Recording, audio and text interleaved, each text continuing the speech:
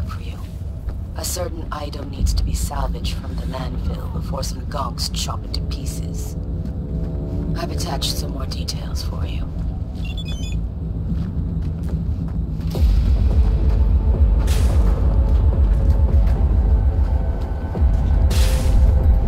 Shit weather, eh? What a beautiful dump you've got here.